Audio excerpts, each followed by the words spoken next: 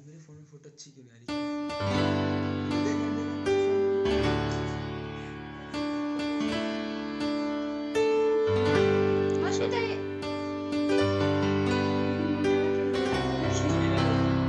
चलो करो।